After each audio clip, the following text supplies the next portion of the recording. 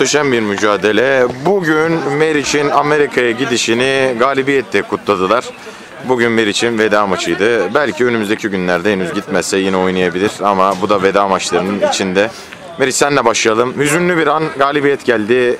Gürel Otomotiv yine sen yokken belki kupaya kaldıracaklar ama sen burada olmayacaksın. Nasıl bir duygu bunu hissetmek bile. Şimdi içimde bir e, şöyle söyleyeyim içimde buruk bir sevinç var. E, verdiği üzüntü ve kazanmanın vermiş olduğu sevinç. Takım arkadaşlarımı tebrik ediyorum. Çok yorumlar. Özellikle başkanımızın ilerideki performansı bence ayın oyuncusunun ödülünü hak ediyor. Çok te- teşekkür ediyorum arkadaşlarıma böyle bir galibiyetle beni uğurladıkları için. Amerika'nın neresine gidiyorsun Meriç? Wisconsin'a gidiyoruz. Wi- Wisconsin'a gidiyorsun. Ne yapacaksın orada? Lifeguard olarak çalışacağım. Güzel. O zaman buradan Evet, Gürel, Gürel Otomotiv'i orada temsil edeceğim başarı, başarıyla. bravo. Gelirken elim boş gelme Teşekkür kardeşim. ediyorum. Sözü Tolga arkadaşımıza bırakıyorum. Çok teşekkürler Tolga.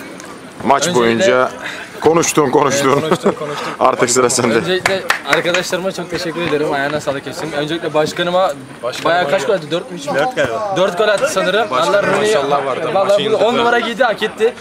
Kesinlikle önce Aziz abiye çok teşekkür ederim. Geldi buraya takımımızı resmen kurtardı. İyi kötü oynamaya çalıştık sonradan gidip. Uğur'u aramadınız değil mi Tolga? Uğur'u hiç aramadık. Artık forvetimiz Atı Başkan. Ee, bütün arkadaşlara teşekkür ederim. Rakibin de ayağına çok sağ çok iyi oynadılar. Uğur pazarda limon satsın diye. Çok Çok teşekkürler. Başkan bugün oyundaydınız. 4 gol, muhteşem goller. Maçın golü de size ait. Ne- neler düşünüyorsunuz? İlk önce organizasyona ve sizlere nezdinizde teşekkür ederim. Ee, çok uzun bir süre sonra tekrar bu organizasyonda olmak beni çok mutlu etti ve gururlandırdı. Genç sporcu arkadaşlarıma bu sefer destekle maddi ve manevi olarak birlikteyiz. Bu maçta geçen hafta biliyorsun kaybettiler. Bu maçta nasıl kazanılır arkadaşlar öğretmek için geldim.